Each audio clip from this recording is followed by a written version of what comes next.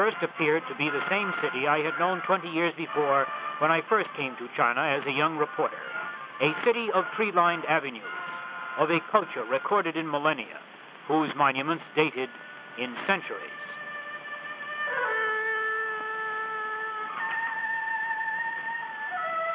But I soon learned Peking was full of new sights and sounds. The parade was just a rehearsal for National Day. It is Communist China's leading holiday. Celebrations go on for two days. They were carrying banners supporting Zhou Enlai's demands for the liberation of Taiwan. They were full of enthusiasm. Taiwan must be liberated. United States get out of Taiwan, they said. At that moment, the communists were shelling Quemoy.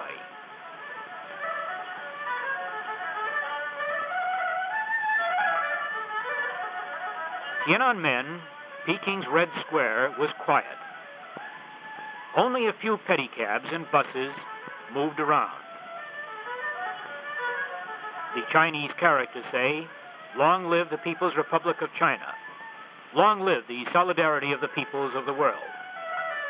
On National Day, this square would be filled. Hundreds of thousands of Chinese would be on hand to watch. Here, the Chinese communists stage their biggest rallies. The men in the street underneath my hotel window were building a sewer. The work went on 24 hours a day. I found out later this was part of a program.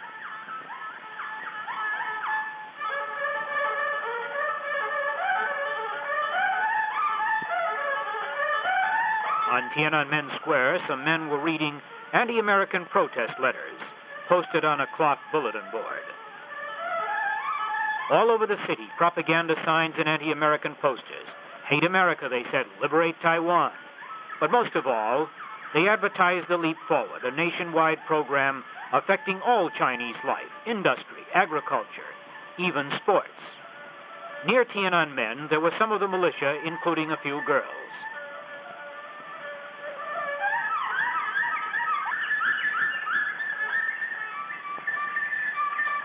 They were playing cards or other games. The People's Militia is organized by provinces and military districts. Reserves for the Army are trained. Although all ages 18 to 45 have to serve, most young Chinese enter the militia from the youth organizations. They are indoctrinated in communism. They stand guard, take part in major celebrations, appear on many occasions. Girls are encouraged to join. These girls are reading recruitment notices.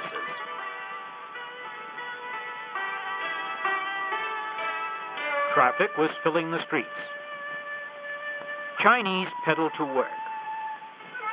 Pedicabs are used for carrying small loads. Men pull heavy loads. There were cars, buses, carts.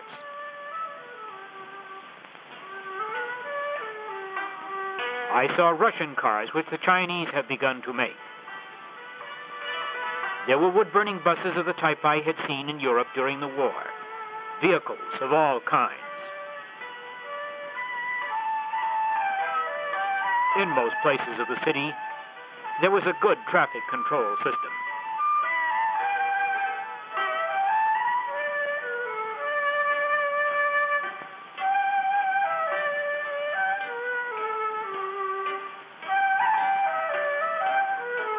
This truck was pulling a string of trailers, carrying a load of coke for steel making in the leap forward.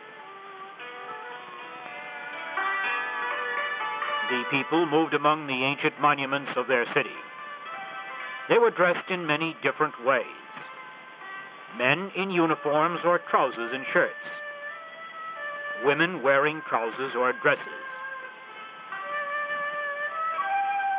A trip to Peking's outskirts past the monument to the people's heroes, the Catholic Church.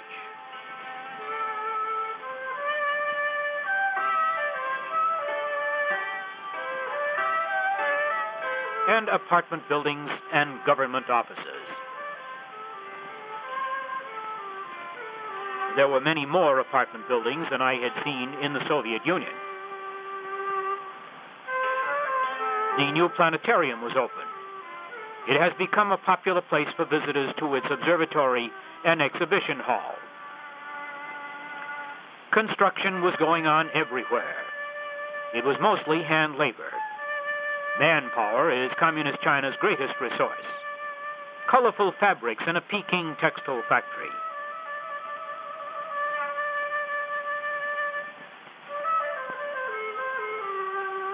One of three in Peking, this modern plant employs many women.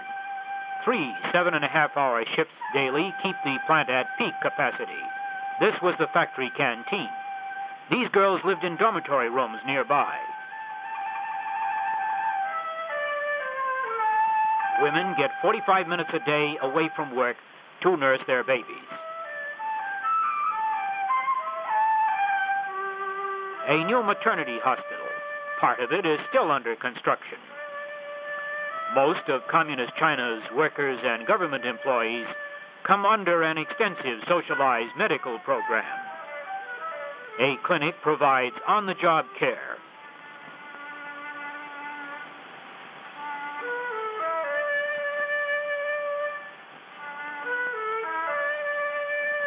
I visited a worker's family in one of the apartments near the factory. Five people occupied a small apartment for which they paid about $1.20 a month rent. Kitchen facilities in a courtyard.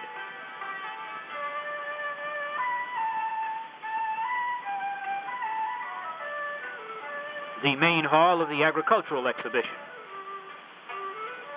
Open May 1st to display machines and implements China is making for the leap forward.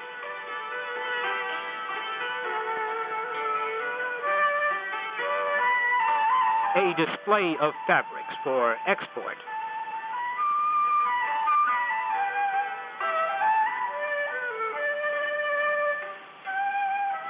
Visitors arrive from the provinces 500 at a time for a week's tour.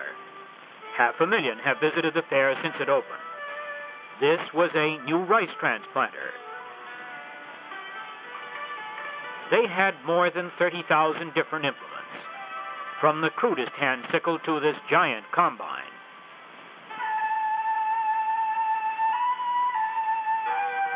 They had more than 170 different types of tractors steam, coal burning, gasoline, diesel.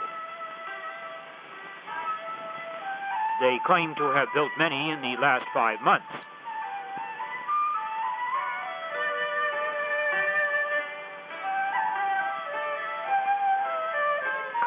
Of widely varying designs.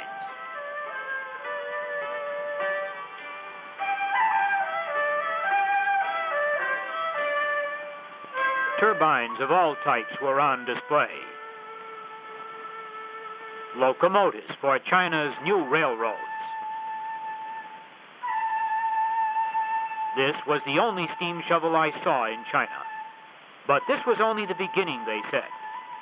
The leap forward was only the first step toward China's advanced economic progress. An exhibition of irrigation machinery ranged from steam power to small gasoline motors, even foot and hand treadle.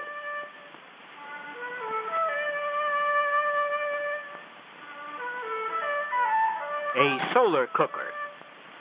It was a featured exhibit. Outside the fairgrounds, there was a pool. Here, watched by their waiting elders, children play.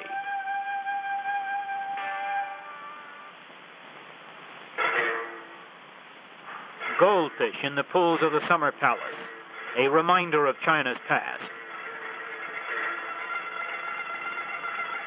Once, these grounds were the private preserve of an empress's pleasure loving court. She spent part of a naval budget on this marble boat.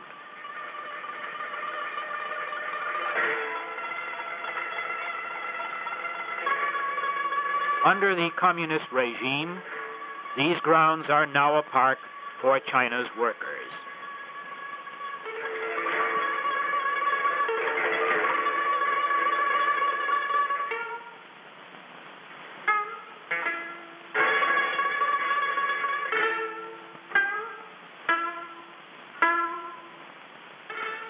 stone elephants on the way to the Ming tomb. A gate built five centuries ago, entrance to the tombs, burial place of emperors of the imperial days. The communist regime has made it into a park.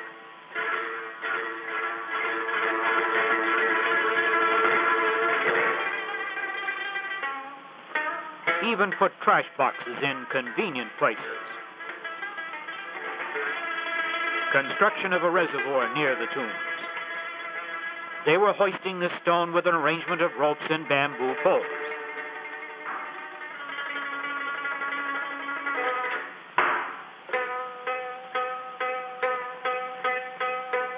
With almost no machinery, they do not lack manpower.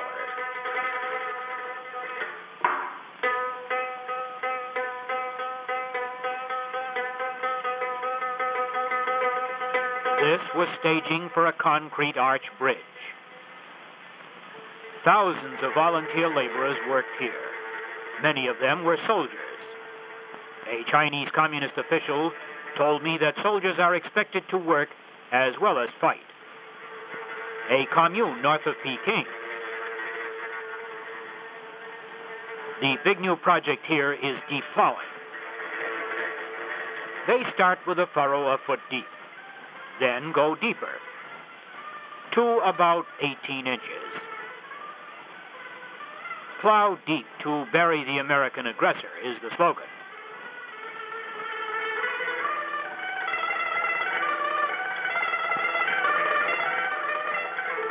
The commune is virtually self sustaining. They make their own tools.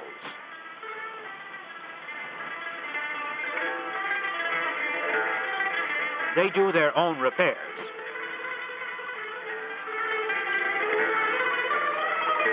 4,100 people live on this commune, 970 families, 1,600 workers. A comparatively small commune in communist China in the year of the leap forward. Leading crops are corn, millet, vegetables. Their vegetables are excellent.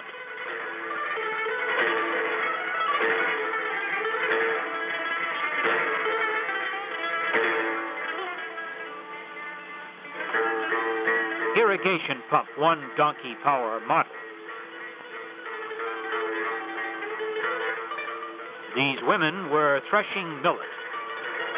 Children are excused from school and brought here in a group during the harvest season. Education and labor go together in communist China. Much of their corn is very poor. Some of it was fairly good.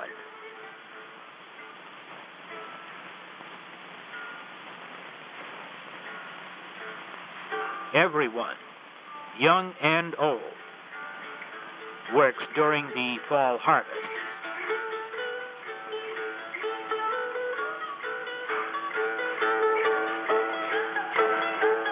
These are student volunteer workers, young men and women from Peking universities and high schools. On weekends, they work on farms and roads around Peking. This group had a loudspeaker with news commentaries about Taiwan and commercials about why they should work hard for the Great Leap Forward.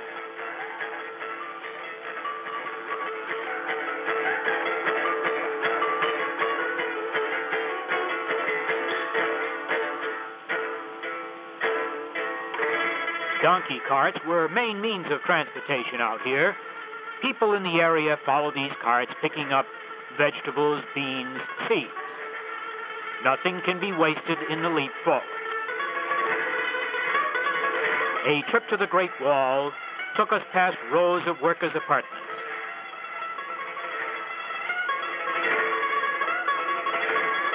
We passed camel caravans coming in from the north loaded with grain, wool, and other products, and herds driven to market.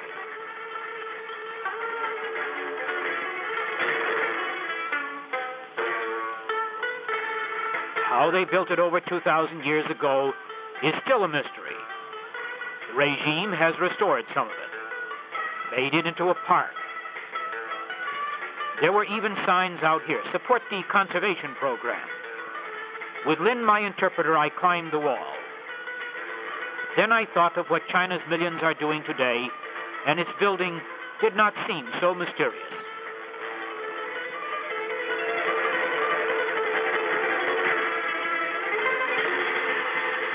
Apartments in Shenyang, heart of industrial Manchuria. About 15,000 of Shenyang's workers were housed in this area. These apartments had their own schools, garden plots, canteens. Knock on any door, they said. This woman had six small children.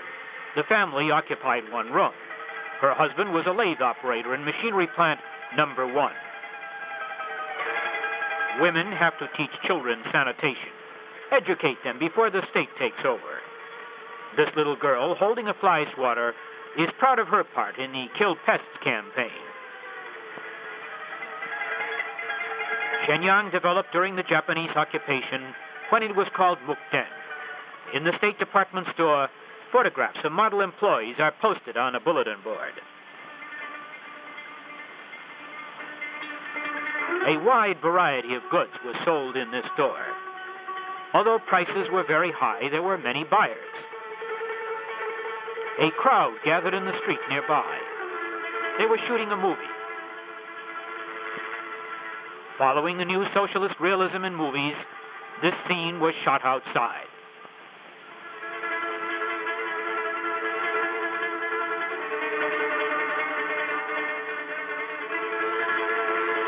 They even had a script girl.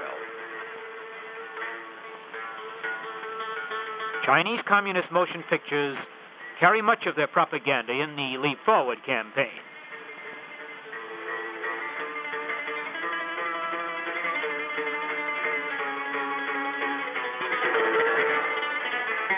Is Vice Director Ye Sun Ping of Machinery Plant Number One.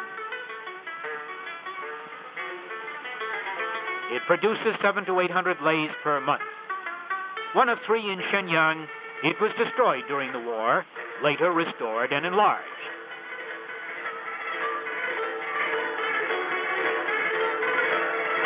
Lathes were based on an East German design.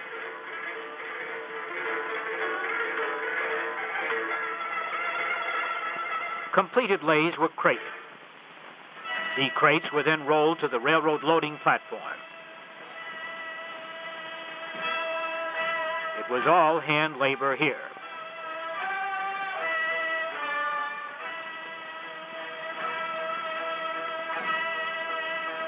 This is the Shenyang Cable Factory and Director Lin Ming Yu. Here, 4,500 workers make cable of all sizes, both aluminum and copper. All processes were completed in this plant, which the communists enlarged following the 1949 takeover. They claim production was 12 times greater than it had been during the Japanese occupation and 20 times more than during the nationalist days. Posters calling the United States bandits and telling the people to surpass United States production.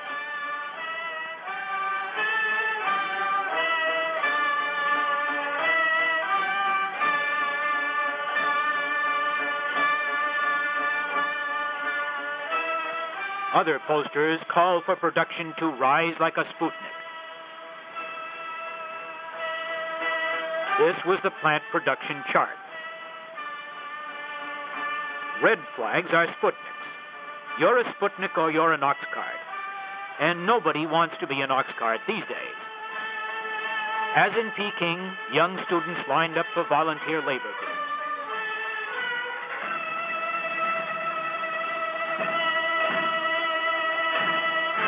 These are young pioneers and members of the Youth League.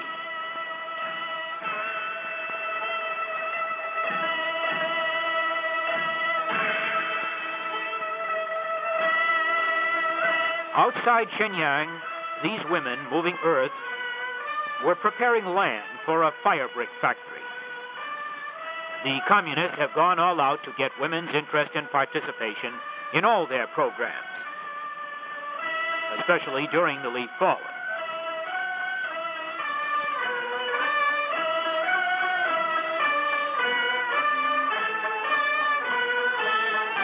I found this was the best way to get their cooperation for these pictures.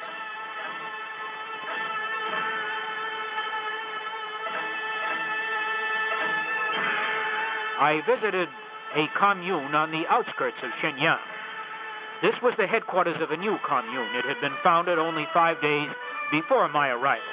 The chairman, Liu Chenyang, 42, headed 60,000 people working about 65,000 acres. Ten factories were also located here. Hogs were the most important product. The chairman told me there were 17,000. Recent communist agricultural policy in the communes calls for close planting, deep plowing, plentiful use of fertilizer, and irrigation. The chairman told me that this commune hoped to add 3,000 families, about 18,000 more acres, and to increase food production during the next year.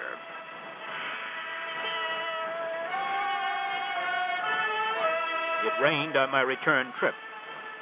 I was stuck fast in Manchurian mud and had to get help from one of the farmers nearby.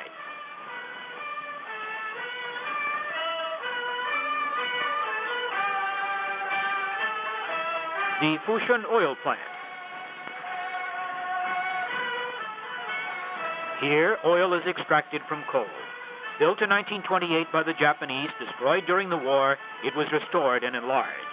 The Japanese produced 225,000 tons of petroleum in their best year.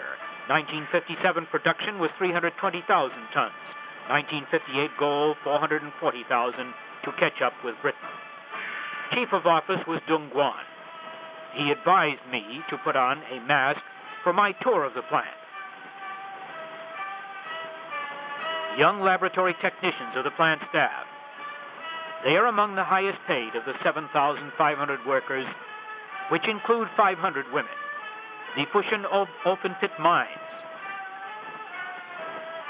Hydraulic mining is much used here.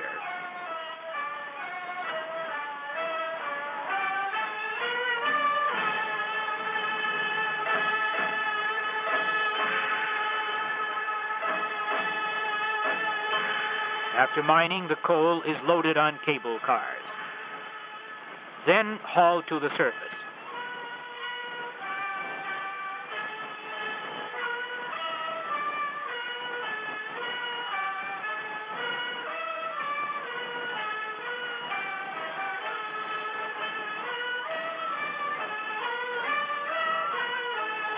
Are automatically dumped.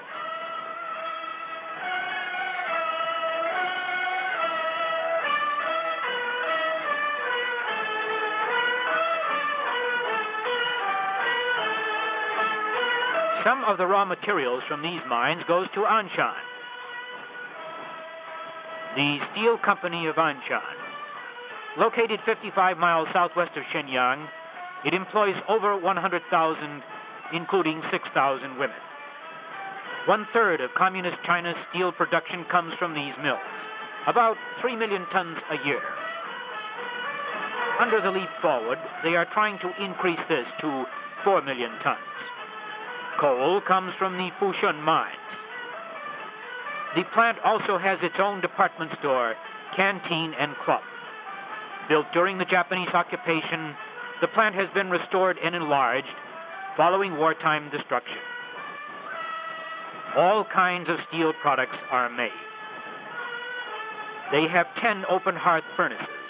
It takes about eight and a half hours to run a batch through during the leap forward an improvement over earlier production figures.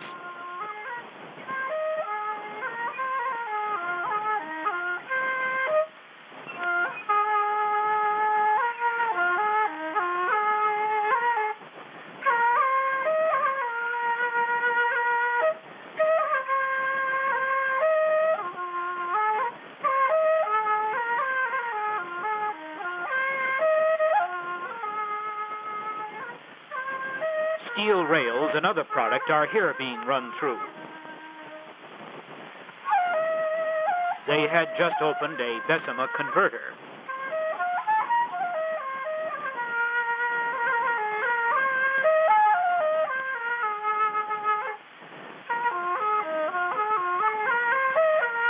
To this production is added the output of many small furnaces like this one. This plant made 30,000 tons of steel a year. And everywhere in China, near industrial plants and on communes, small furnaces have added their output to the big mills.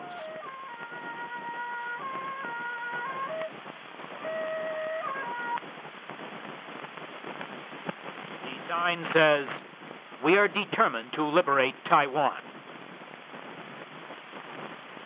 En route from Peking to Tientsin, we passed through an intensively cultivated region. Crops here were corn and sorghum.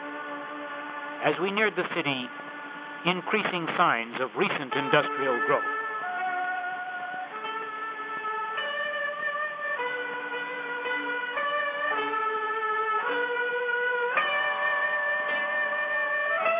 Tientsin is a sprawling city of over 2 million.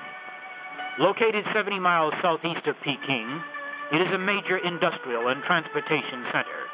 We drove through streets crowded with pedicabs and carts, groups of students and office workers practicing for the National Day parade. The city gave every appearance of rapid growth.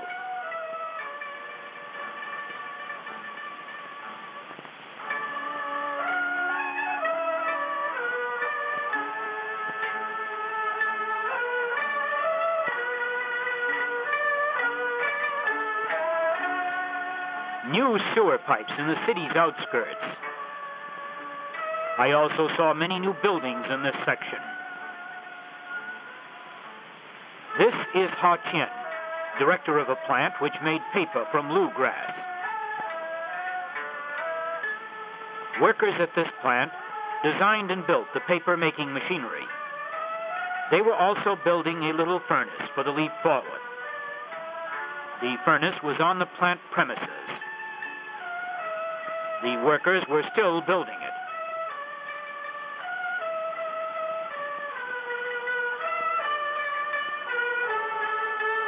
And they couldn't wait to charge it. Just to help in the liberation of Taiwan, they expected to make 14 tons of steel daily in this furnace.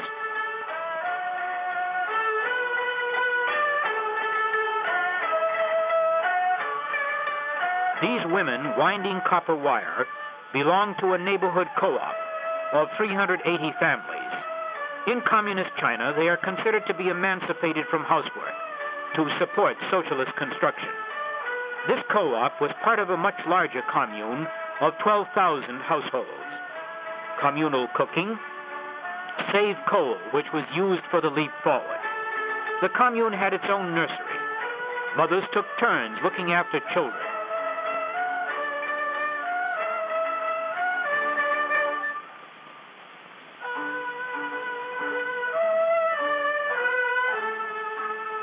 This little boy was singing about the leap forward.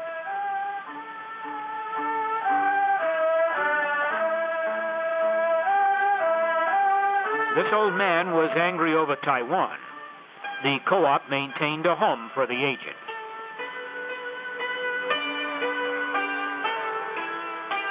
I visited some of the rooms occupied by old people like this woman with bound feet. Quarters were neat and clean with whitewashed walls. I stopped at a park just outside the city.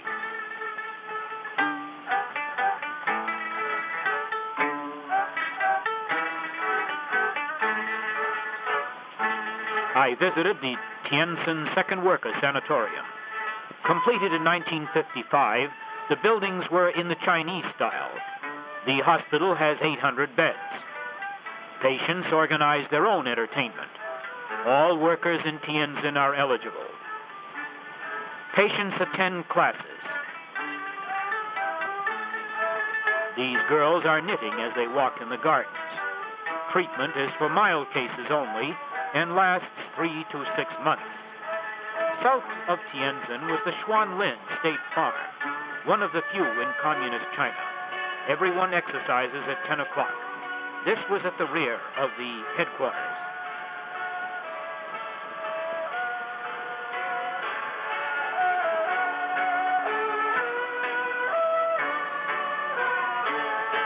Indoctrination lectures are part of all communist programs. Chinese are subjected to constant propaganda. This was formerly swampland. Now they reported getting good production. At nearby Shinli village, they were experimenting with rice. Irrigation here was fairly advanced. These water wheels were run by a 15 horsepower motor.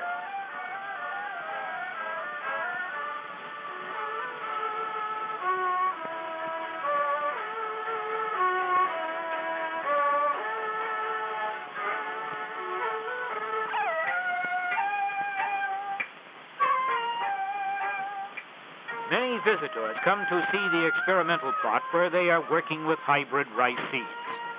They are so proud of it they even have their own cameraman. They have bamboo poles to keep the rice from trampling. Lights have been installed to keep it growing 24 hours a day.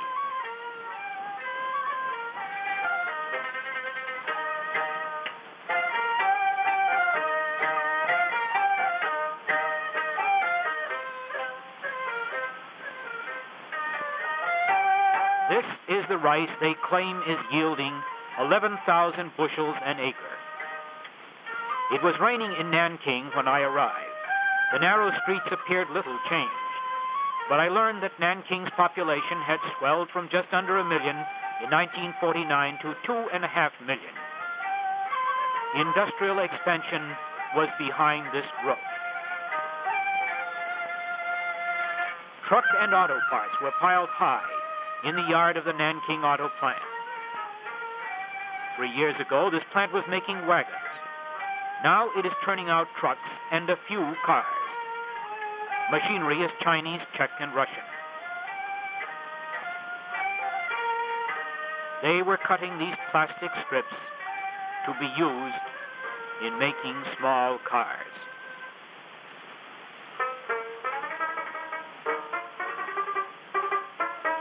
This is Chi Kang. He is the plant manager.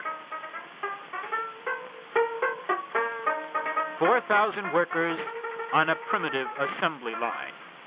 Many are women. And on the plant grounds, a small furnace was also turning out steel for parts.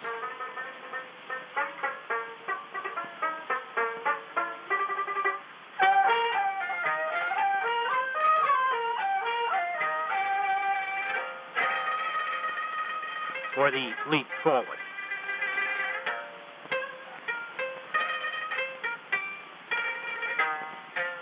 down the Yangtze to the Nanking Chemical Factory, where 10,000 workers turn out fertilizers and commercial chemicals. We could see the factory as we approached. Workers at this plant had built 80 small furnaces on the plant grounds. Posters with anti American and Taiwan themes were linked with the Leap Forward production. This was a Buddhist temple. Within its confines is the shrine of the 10,000 Buddhas. Fifty priests take care of the temple and conduct services. This priest told me that quite a few people still worship at the temple. I arrived at the Catholic Church just as Mass ended.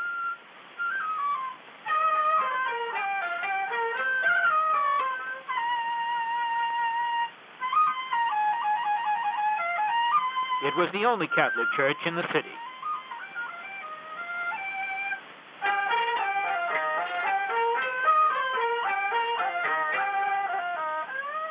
The priest told me that there were two or three hundred people in the parish.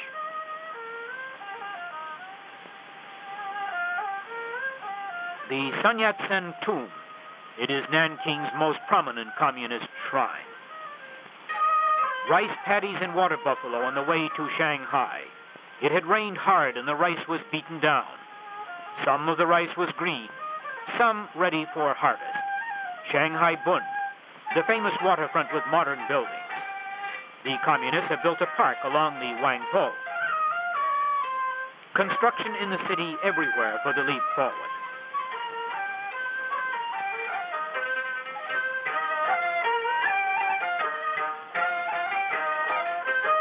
Sino Soviet Friendship Building, a cultural center to further the common bond between the two communist giants. Like Peking, traffic streamed through the streets. I passed many factories. I was on my way to visit a fountain pen plant. I was greeted by the manager, Chi Fung Lu. Pens made here, called Hero, were modeled on the Parker 51. Catch up with Parker was the plant slogan. I saw many young workers and students here. This was Chung Kan Chu. He is saying, Get American troops out of Taiwan. This is the Long Ma Chung Chen Commune.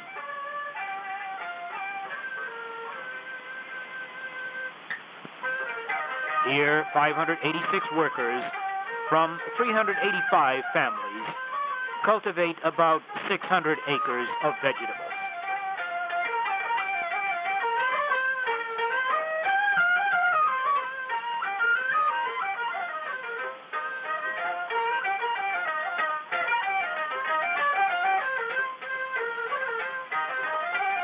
Militiamen to guard the commune gates. There was some mechanization on this commune, but most of the work was done by hand. Tractors were used for deep plowing.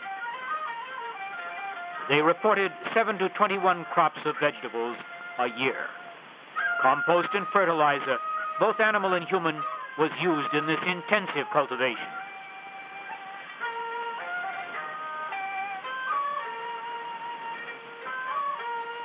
Many kinds of vegetables were raised. They also had an experimental plot where they were trying out new irrigation. Corn was raised and used for feed. The commune reported grossing $270,000 worth of products in 1957.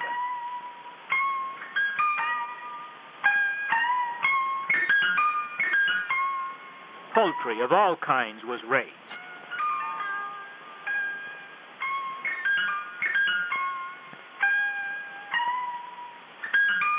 chickens near an old pillbox.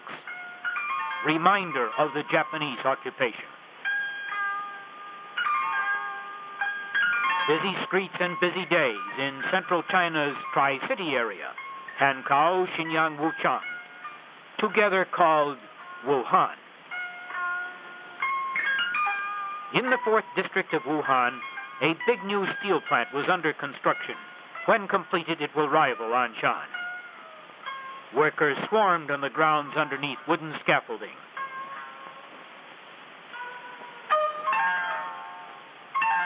They dug and shoveled.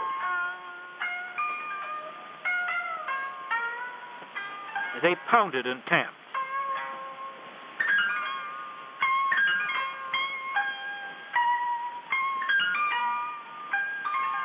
Ore is shipped in 60 miles by railroad.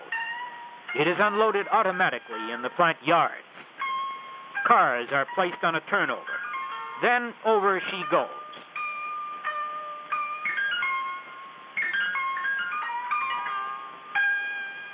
Steel making went on inside the plant while construction continued outside. Their goal was 3.5 million tons of steel a year by 1961. To catch up with Britain, Heavy machinery at the plant was furnished by the Soviet Union, and near the plant, these new workers' apartments.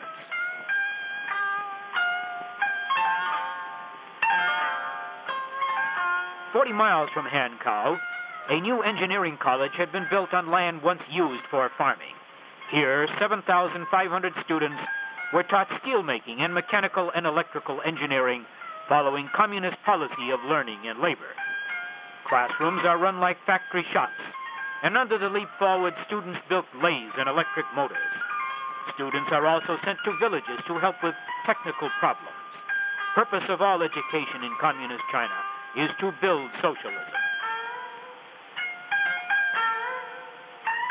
The Wuhan meat processing plant, also built with Soviet help. Hogs are shipped to this plant from Hubei province, killed with electric shock. 3,000 workers use up to date equipment.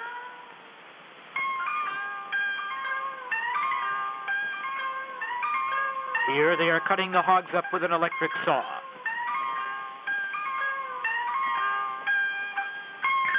Bladders are used in packing sausages. 40% of this production goes to the Soviet Union.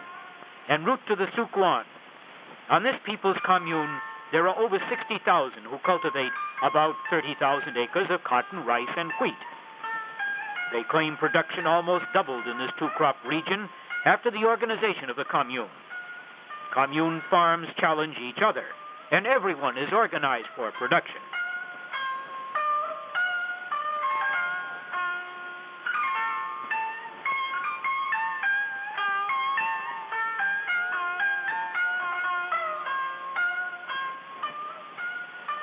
On this experimental plot, they claimed they were producing 1,000 catties of cotton per acre. This was an increase of approximately 800% over pre commune days. Young children of working mothers are cared for at the commune nursery school.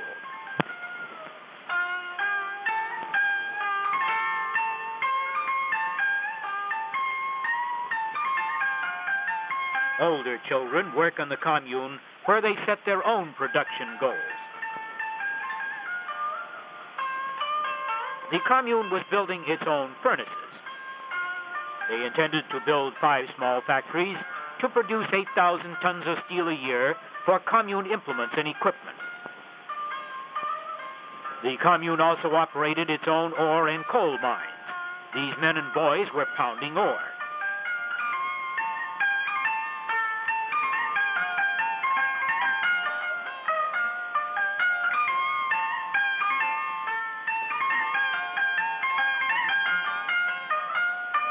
Sifted and shoveled coal, getting ready to charge the furnaces.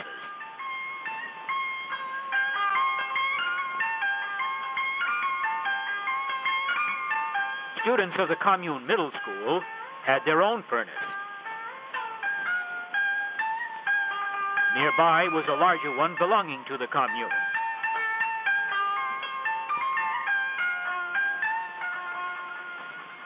Workers were enthusiastic. They said they were working to accelerate socialism, working for the leap forward and against American aggression. Here, one team works on the bellows, another charges the furnace. This was the new bridge across the Yangtze. Opened in 1957, this steel truss bridge has a highway on the upper deck, a railway below. A Chinese junk blown gently before the warm South China wind, the smell of the river, and the creaking of the oarlocks of the river sampans, the voices of the people who live on them. This was the old Canton.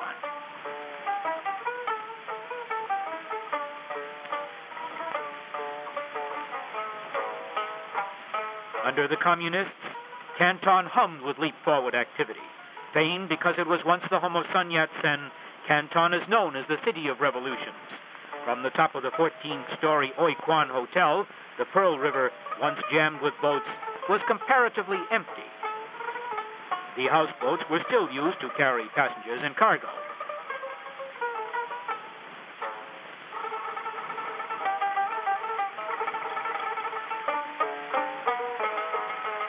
Baskets of fruit piled for shipment.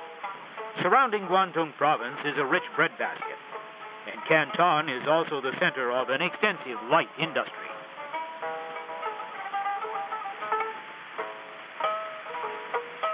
On the waterfront, incessant activity, constantly changing.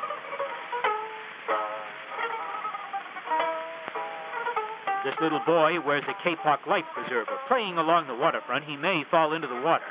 If he does, the sack will keep him afloat. Excitable and talkative Cantonese are far different from the North Chinese.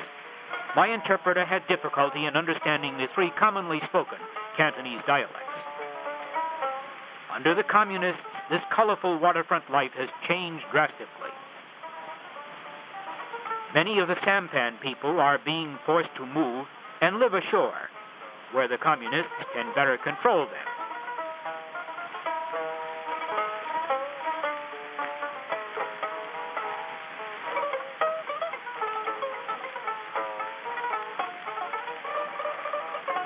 Buses ran to the suburbs.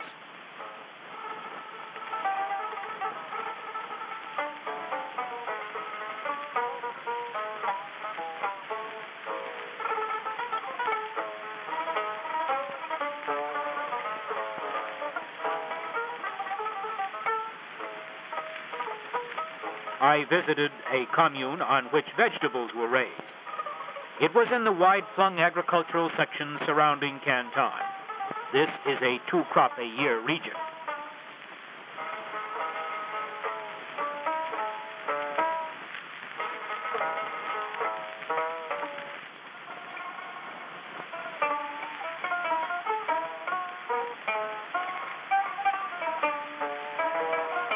A boy and a water buffalo.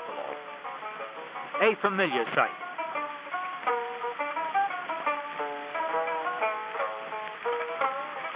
He is spreading manure by hand.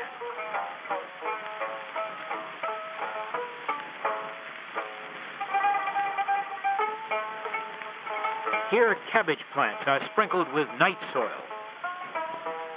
All work here was done by hand.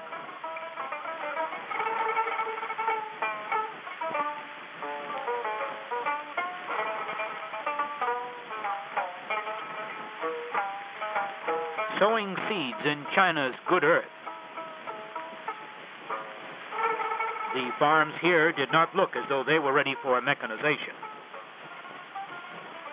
It was difficult to believe that the small plots would lend themselves to the use of machinery. Here, hand labor would probably always remain at a premium.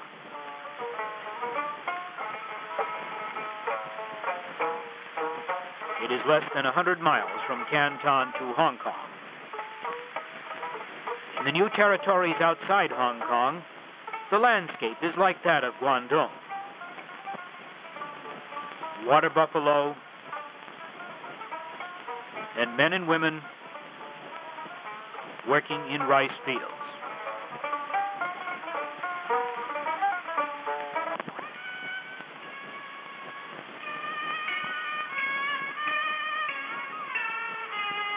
It was raining when I reached the border checkpoint. I had to walk a couple of hundred yards and wait at the border station a couple of hours for a train. This library, named after the vice president, was a reminder I was back in the free world. It was September 29th, two days before the Chinese Communist National Day. The British had brought out tanks and soldiers were marching to their posts in case of incidents. I drove around in a rickshaw. They were forbidden on the mainland. The girls in Peking were nothing like this.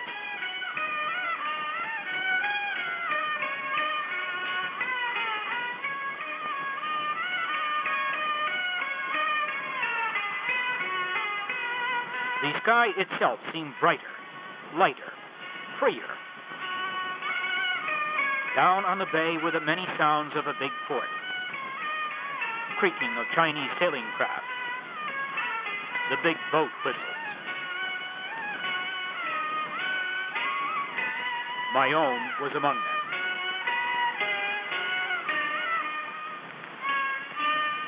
And I stood at the rail and watched Hong Kong's white buildings against its steep green slopes and thought about China's leap forward.